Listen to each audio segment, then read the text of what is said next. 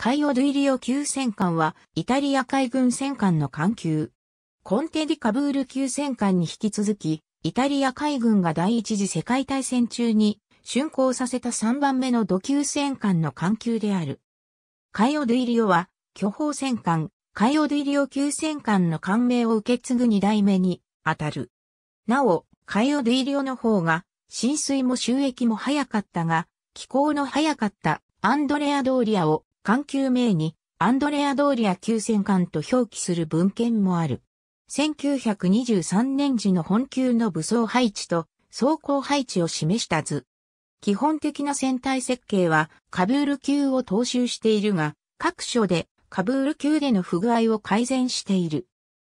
船体は単線主浪型型に改められ、艦首からカブール級より引き継いだ新設計の1909年型 30.5cm 砲を1.2番手砲塔を背負い式に2機、司令塔を組み込んだ開放式の操舵環境と一番煙突の間に建てられた全部三脚床までにて、選手楼甲板は終了しており、そこから後の甲板は一段下がって3番手砲が前向きに1機、中部に単焦灯台を持つ後部三脚床、2番煙突、後部見張り所、4番5番主砲塔を後ろ向きで、背負い式に2機配置した。主砲塔は、カブール級と同じく、1番、3番、5番のみ3、連装砲塔に、2番、4番のみ連装砲塔の変則配置である。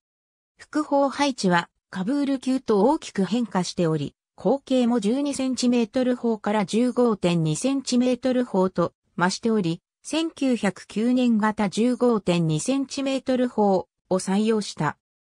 理由として、従来の 12cm 砲では、オーストリア・ハンガリー帝国海軍が整備している水雷巡洋艦や大型化した駆逐艦への打撃力に不安があり、速射性能を犠牲にしても確実に巡洋艦級を撃破可能な 15cm クラスの副砲が必要になったためである。また、装備形式も変化しており1番2番、主砲塔直下に放射状に左右にケースメイト配置で4機4門ずつ、4番、5番、主砲塔直下の左右に放射状に4機4門ずつの片弦8機計16機16門を装備した。カブール級では、守備線に6門以上施行できる配置となっているが、本級では、監守備方向に施行できるのは4門と、減少しているが逆に左右減速方向に最大8門が施行できるようになっている。これは艦隊戦闘時に重列陣形を用いた時に減速方向へ最大限の火力を発揮できるようにする工夫である。その他に耐水雷艇迎撃用に 7.6cm 砲をカブール級と同じく13門、7.6cm 広角砲を6門、45cm 水中魚雷発射管を単装で2機を装備した。船体底部はカブール級と同様に艦首と艦尾が斜めになった分の重量を軽減できるカットオフ方式を引き続き採用し、舵は主だと副舵を直列に装備した。アンドレア・ドーリアとカヨ・ディリオ本級は1911年度海軍計画において建造が決定され、カイオ・デイリオは1912年2月に寄港され、1913年4月に浸水、1915年5月に竣工した。一方、アンドレア・ドーリアは1912年3月に寄港され、1913年3月に浸水しておりここまでは一番艦と同じペースで建造が進んでいるが、竣工は1916年3月約1年分遅れて竣工している。これは第一次世界大戦開始に伴う社会的混乱により兵装や偽装資材の調達に遅れが出たためである。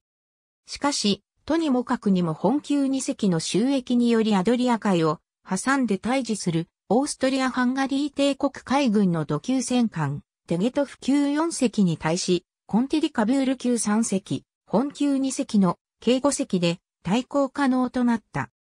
しかし、敵艦隊の主力であるニーティス級が、オーストリア・ハンガリー帝国海軍の現存艦隊主義により不活発であったために、本級2隻とも第一次大戦中は大きな作戦に参加したことはなく、もっぱら、ティレニア海とイオニア海間の船団護衛任務か、オトラント海峡封鎖任務に参加する程度で過分なく、第一次世界大戦を乗り切った。近代化改装後の本級のイラスト。第一次世界大戦後の本級は、カブール級と同じく1920年代に2隻とも近代化改装が行われたが、カブール級の改良型である本級は不具合は少なく改装の程度は必要最小限度に止められた。しかし、カイオ・デイリオは1925年4月にラスペツヤ湾にて停泊中に3番主砲島内で爆発事故を起こした。幸い、沈没には至らなかった。原因は弾薬庫内の創薬の自然発火と推測された。一方、アンドリア・ドーリアは1926年に国王ビットーリオ・エマヌエーレ3世の魚座艦を務めた。1928年には2隻とも、コンテディカブールの使用実績から、艦首甲板左舷部にカタパルトが装備されて、水上偵察機が運用されたが、1932年に2隻とも予備艦となった。このまま行けば、イタリア海軍の海軍計画により、近代的な新戦艦にとって変わられるはずであった。しかし、オーストリア・ハンガリー帝国なき後に新たに仮想的となった地中海を挟んだ大国フランスのフランス海軍が1931年に新戦艦ダンケルク級戦艦の機構を発表したことにより、にわかに本級の重要性が高まった。理由は、ダンケルク級戦艦への対抗艦として、イタリア海軍では新戦艦、ビットリオベネト級を計画していたが、一番艦、ビットリオベネトとリットリオラ第一グループの機構がどう急いでも1934年からになり、イタリア海軍の建造ペースでは早くても竣工は1940年と計算され、ダンケルク級の収益には到底間に合わないためである。そのため、イタリア海軍は給与の策として練習艦任務にあったコンテディカブール級に徹底的な近代化改装を行い、ダンケルク級の収益に間に合わせるため1933年からドック入りさせてしまったのである。そのため、本級2隻がカブール級の代わりに練習艦任務に就くこととなり、さらにはフランス海軍への平時の備えとして一戦級の扱いを受けることとなったのである。幸い、カブール級の近代化改装期間中に対価なく、無事にコンテディカブールとジュリオ・チェーザレが1937年に相次いで再収益したことにより、本級の役目は終わったかに見えた。だが、フランス海軍はダンケルク級2番艦、ストラスブールをベネト級第1グループと同じく1934年に寄港させ増強され続けるドイツ海軍とイタリア海軍への対抗として1935年にリシュリュー級を1935年から続々と寄港させたのである。この時点でイタリア海軍はさらなる海軍増強のために本級2隻をカブール級の近代化改装の経験と、ベネト級の設計により得られた新技術を投入して、カブール級を上回る近代化改装を施す決断をした。近代化改装後のアンドレア・ドーリア。カイオ・ディリオは1937年4月より CNT 社ジェノバ造船所にて、アンドレア・ドーリアも同年同月にトリエステ造船所にて近代化改修工事を実施し、カイオ・ドゥイリオは1940年7月15日に最終駅、アンドレア・ドーリアは3ヶ月遅れの同年10月20日に最終駅したことでわかるように本級は第二次世界大戦までに間に合わなかったのである。改装前の手法はカブール級と同じく既存の30.5センチメートル方針の A ナイトをボーリングして方向径を30.5センチメートルから32センチメートルに上げる大口径化を行った。この方法ならば、既存の方針を加工するだけで、コストも抑えられ、改造も、邦画の補強と、要暖機の改正で済むため手法等を新設計するよりは時間の短縮となった。この改造により、1934年型 32cm 砲へと生まれ変わり、性能的にも砲弾重量は 452kg から 525kg へと増加し、威力増加が見込まれた。同時に第一次世界大戦時の戦訓により、射程を伸ばすために、行角の引き上げが行われたが、カブール級の最大行角27度に対し本級は30度へと、さらに引き上げられた。これにより、射程距離は、カブール級の28,600メートルから29,400メートルへと延伸され、砲弾重量の増加により、敵艦の水平防御への貫通能力も増加する見込みであった。しかし、この改造の代償として口径は46、口径から43.8口径にダウン、方針を削って薄くなったことにより名数は減少し、散布会は広がった。しかし、発射速度は砲弾の重量化にもかかわらず改装前と同じく毎分2発を維持した。不要能力は最大行角30度、深く5度で、旋回角度は改造前の150度から左右120度へと減少した。大きく変わったのは、手法等数で口述する機関の強化に伴い、船体中央部の3番手法等を撤去して4機となった。これにより門数は13門から10門へと減少、したがって、正射時の投射弾量は、改装前の5.876トンから5.25トンへと減少している。砲弾一発あたりの威力は増加しており、一長一短である。しかしながら撤去した3番砲塔は、射角が非常に小さく、13門を静射できるシチュエーションは限定される。そのことを考えるに総合的な火力はむしろ向上したとも言える。副砲をケースメイト配置から砲塔形式に変更したのはカブール級と同じであるが、口径は改装前は15.2センチメートル砲であったのが、改装後は新設計の1935年型13.5センチメートル速射砲を採用した。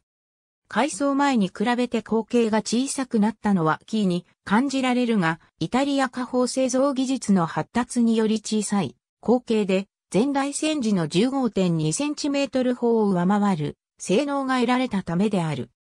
その性能は重量 32.7kg の砲弾を行角45度で、射距離19,600メートルまで届かせることができ、発射速度は毎分6から7発、不要能力は最大行角45度、深く5度で、旋回角度は240度であった。この砲を新設計の箱型砲塔に収めた。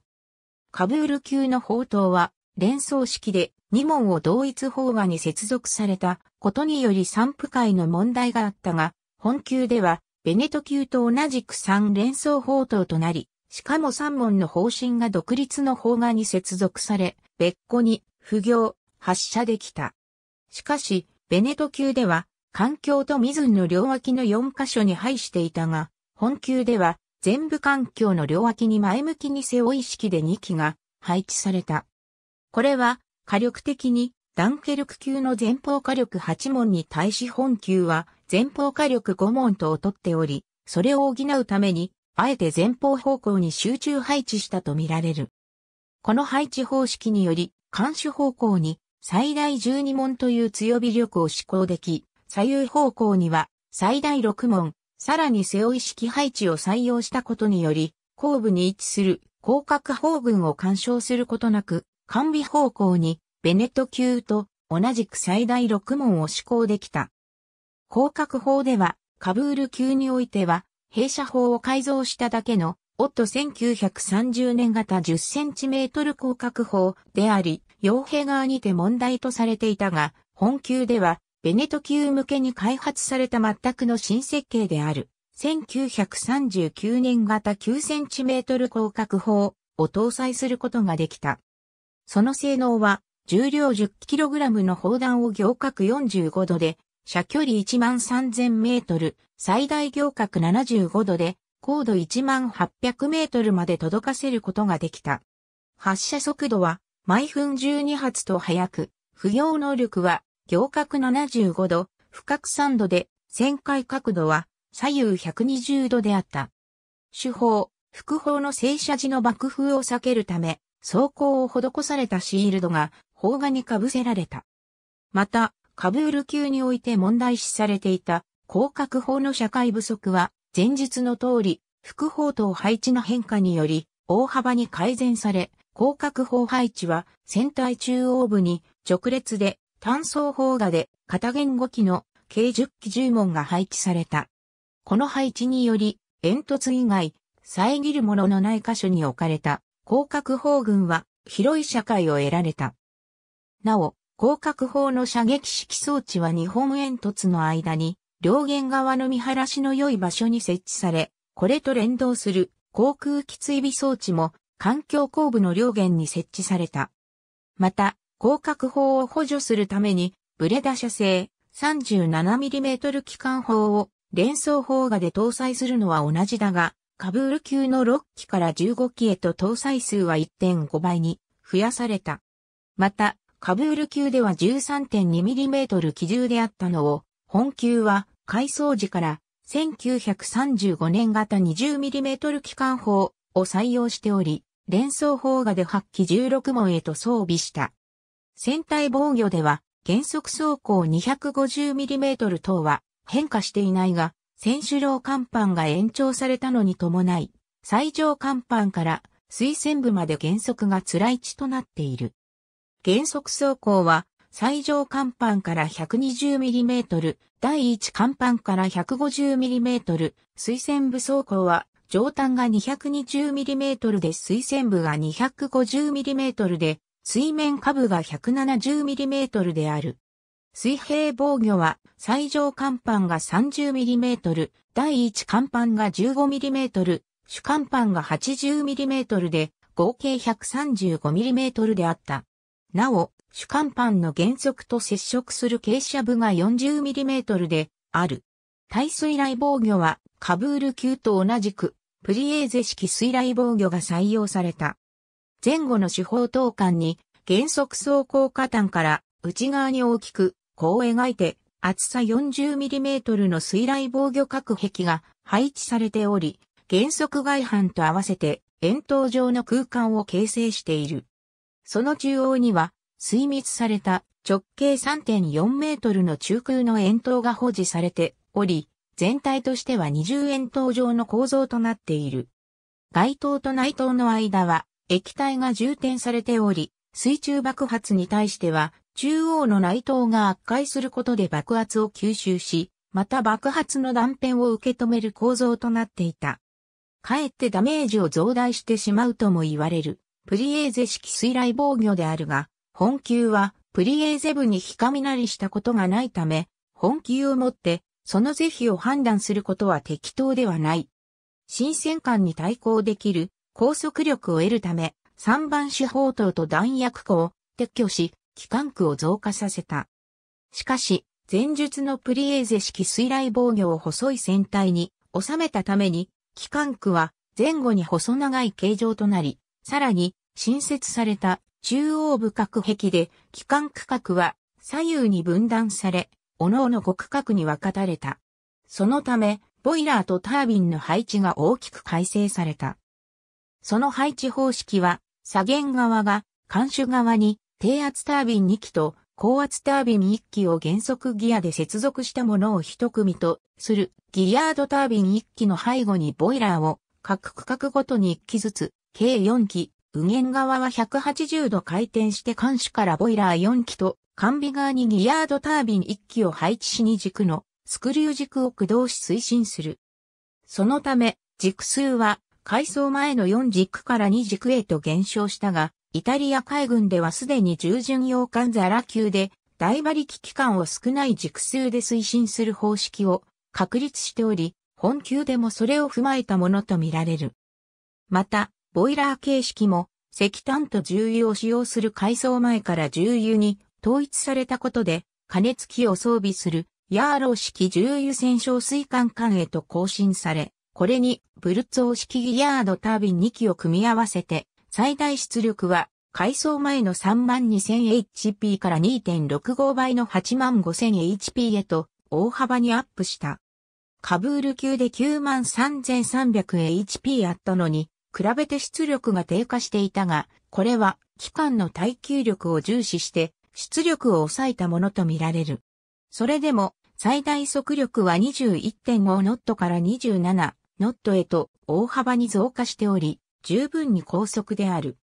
船体構造は、カブール級と同じく重量増加により、喫水の沈下を防ぐため、監視構造の外側に新たに監視構造を接続して全長を伸ばしたが、カブール級で約10メートル伸びたのに対し本級は10.5メートル伸ばされた。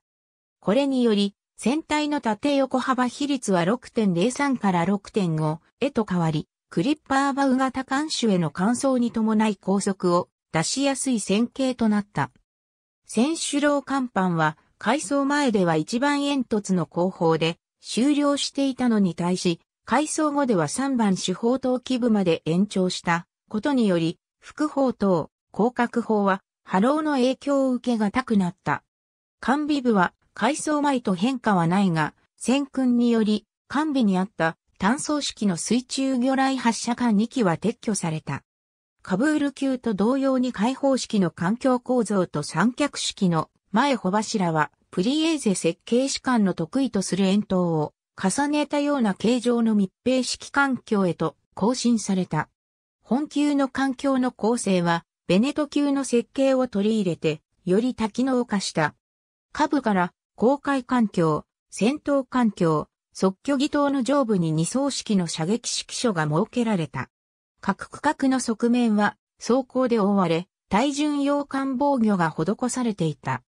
7.2メートル即挙儀は上下二段式となっており、上段が即挙用、下段が弾着観測用で、データは即挙儀搭乗部の射撃式所と包囲板室に送られ射撃完成された。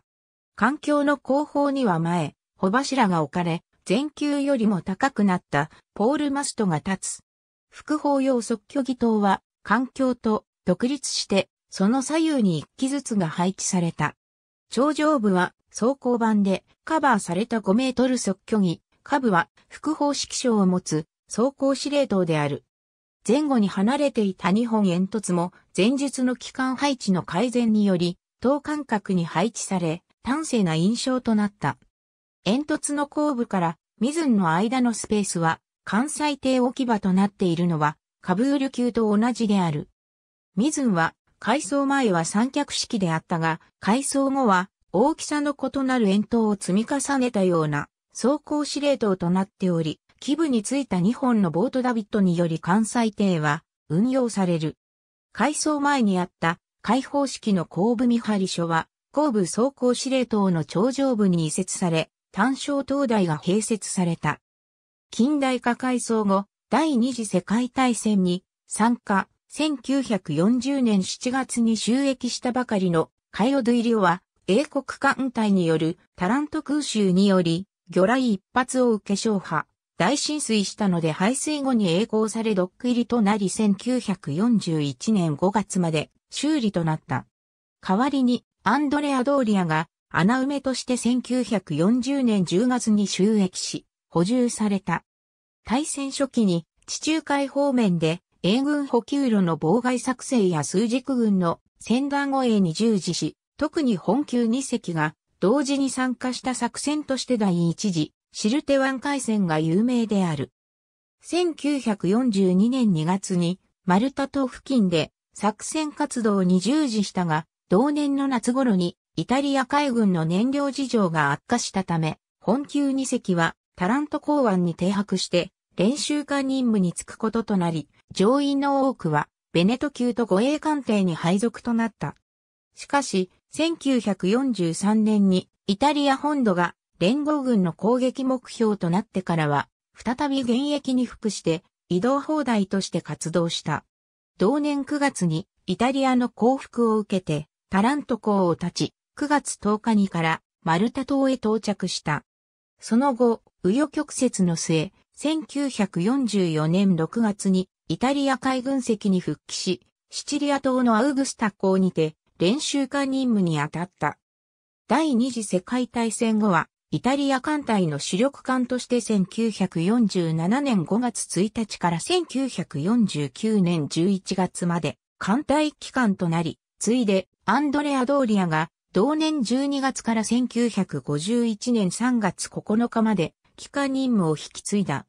その間に NATO 演習にも参加し、イタリア海軍の健在ぶりを示した。しかし、老朽化には耐えられず2隻とも1956年9月に除籍され、11月にスクラップ処分されて44年余りにわたる長い感性を得た。ありがとうございます。